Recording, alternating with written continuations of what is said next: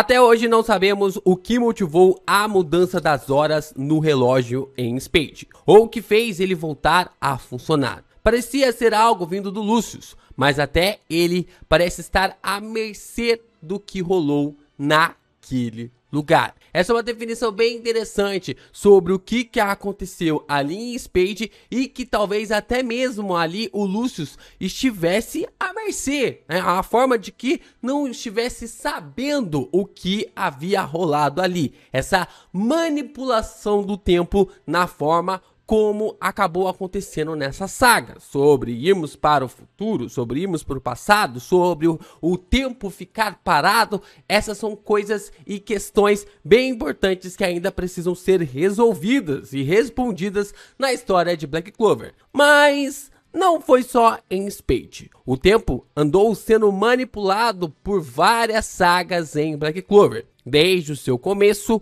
no meio e no seu grande último arco em Spade.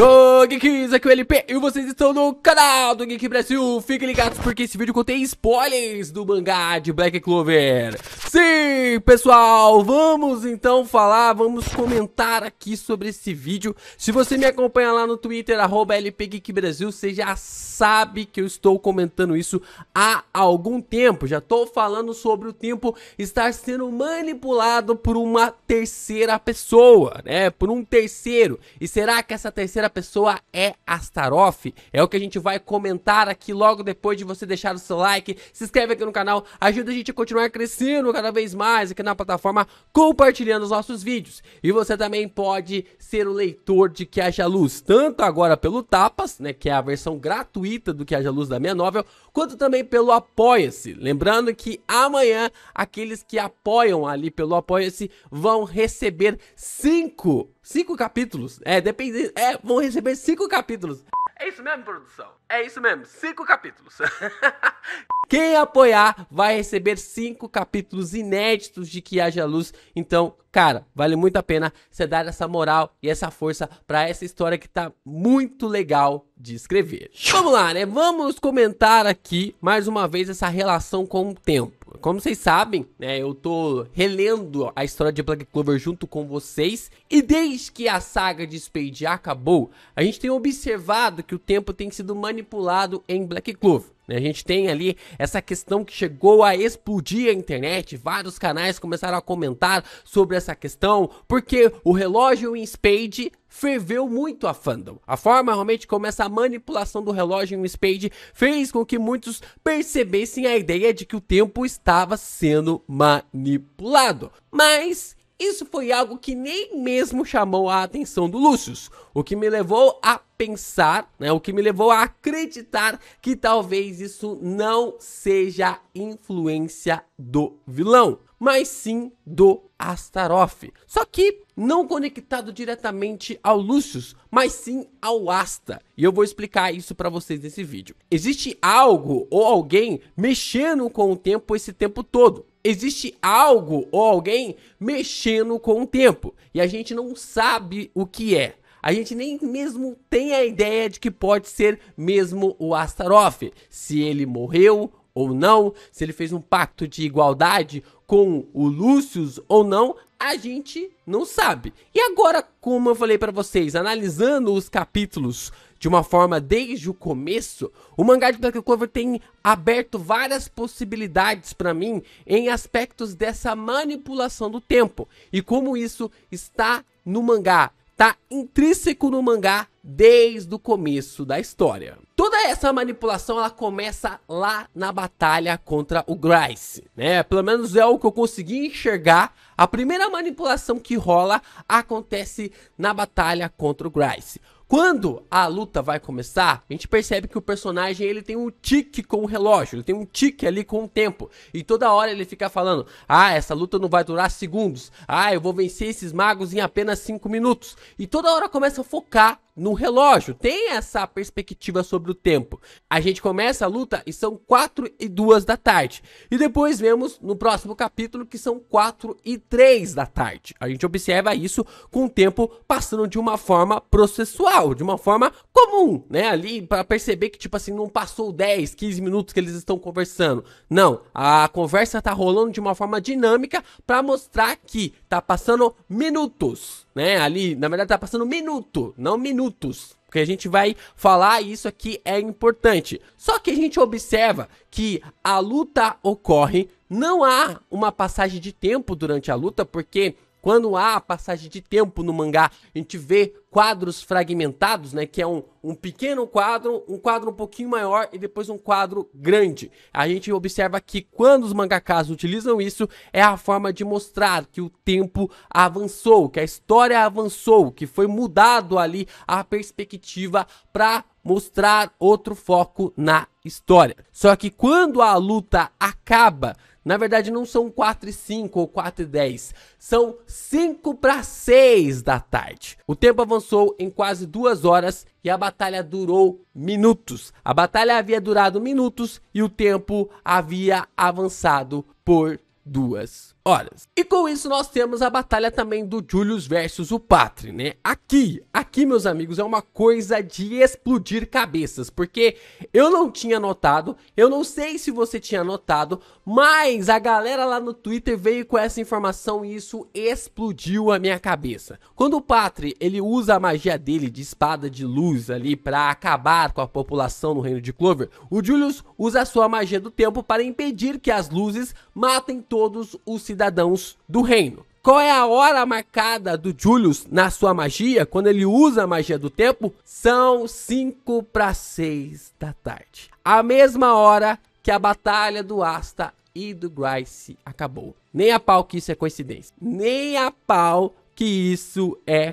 coincidência. Quando o Julius usa a magia do tempo para fazer a magia ali do Patri rebobinar para que ela nunca tivesse existido, é a mesma hora, a mesma hora em que o Asta havia derrotado o Grice. Nem ferrando que isso é coincidência. E assim, para impedir que as luzes atingissem ali geral, né, acabasse com os cidadãos do reino de Clover, o tempo volta em 5 minutos, fazendo com que as espadas voltassem no tempo, como se elas nunca existissem. E agora são 10 para 6 da tarde. Então vamos para a batalha em Spade, aquilo que realmente chamou a atenção. É, o Tabata mexeu com o tempo ali com o Grace, chamou um pouquinho de atenção. O Tabata mexeu com o tempo ali na batalha contra o Patre e ele usou uma cortina de fumaça. Nós tínhamos uma grande luta. Era Lich versus o Julius, o Rei Mago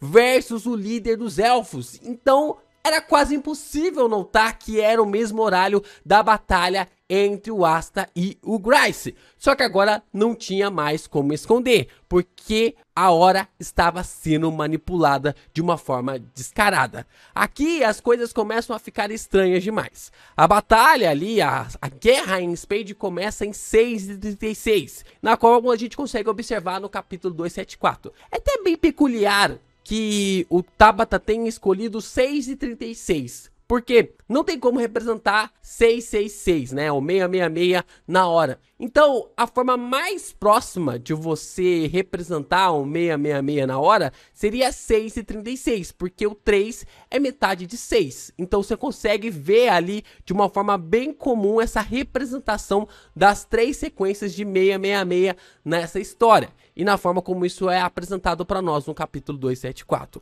Também observamos essa permanência no mesmo minuto, cara. A gente vai do capítulo 274 até o capítulo 279 com essa sequência da mesma hora no mesmo minuto, quando ele é visto pela última vez. Então são seis capítulos de batalha ocorrendo, de luta rolando em apenas um minuto. Em apenas um minuto, acho isso impossível. É, tá tendo ali uma manipulação do tempo, uma forma realmente como o tempo está sendo manipulado para beneficiar os magos do reino de Clover.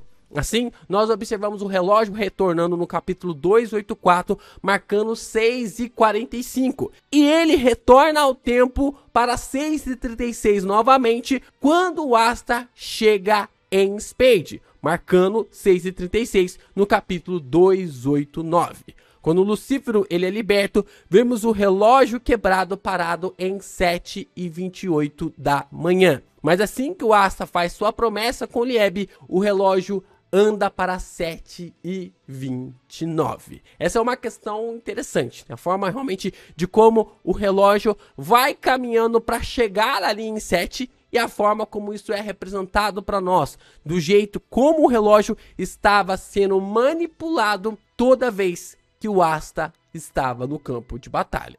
Bom, e até agora esses foram os únicos momentos que eu consegui verificar sobre a mudança de tempo na história focado no relógio. Mas se vocês estão acompanhando as análises dos primeiros capítulos de Black Clover, vocês vão observar que eu vou conseguir encontrar muito mais detalhes, já que eu tô indo quadro por quadro para fazer toda a análise e a complexidade sobre esses detalhes envolvendo essas questões sobre o tempo. Mas o que ficou claro para mim é que essa mudança sobre o tempo seja algo mais vindo para o Asta do que para o Lucius. E, é claro, com um terceiro manipulando o tempo através do Prota não é um poder do Asta, não é uma magia do Asta, mas o Asta é como se fosse o núcleo principal para que essa manipulação do tempo aconteça. Contra o Grice, a gente observa que o relógio avançou no tempo, a forma como estava sendo focado a luta do Prota. Na luta do Julius, o Lich estava começando a despertar,